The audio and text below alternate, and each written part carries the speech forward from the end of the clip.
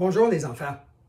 Savez-vous que le magicien Citronion a trouvé une façon de se débarrasser de toutes les bébites? Ah, au début, le roi Pépin est bien content quand Citronion arrive avec son coffret mystérieux pour lui montrer comment faire.